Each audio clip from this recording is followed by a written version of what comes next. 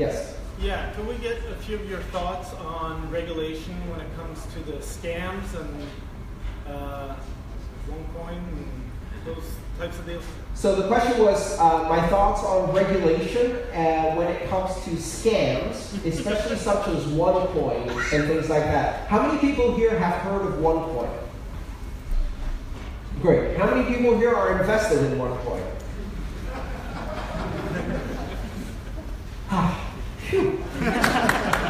Very good. Okay. Um, so I don't believe that regulation um, can protect people from uh, losing their own money.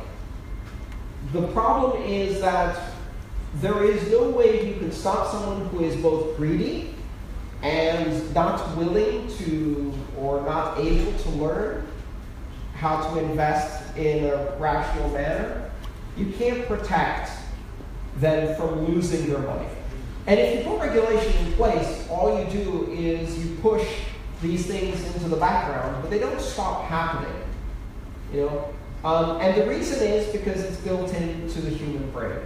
It triggers specific cognitive biases that we have as human beings. That's why gambling is so successful, right?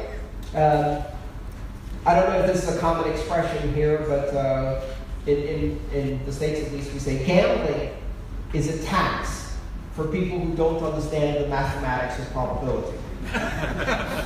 right? Um, and so, if you understand how probability works, you can't rationally gamble, ever. The only reason you would gamble is if you decide, I'm going to lose some money, and fun I'm getting while I'm losing money is worth it, so I'm paying a fee for temporary fun. Uh, but most people can't do that because once you get into it, the gambling process itself triggers these responses.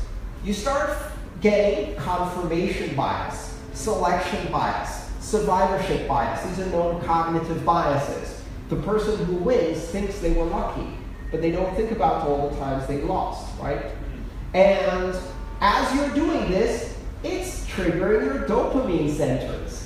And so as a result, you get into it, and it's an addictive activity. The same thing applies to investing in an ICO or a cryptocurrency or a Ponzi scheme or OneCoin. And that applies both to the ones that have fundamental basis, right, and the ones that don't. Honest question how many people here are so excited that every morning the first thing they do is check the price of Bitcoin or Ether? Right? It tickles your dopamine centers. And you don't remember the times when you lost money on these technologies. You remember the times when the price is really high and you were really happy. Your brain does that on purpose to shield you from disappointment. You shouldn't look at these things as investments, especially not short term investments. They're technologies to learn from. But whether it's a really important technology like Bitcoin, or it's a completely bogus scam like OneCoin, our response to it as human beings is exactly the same, right?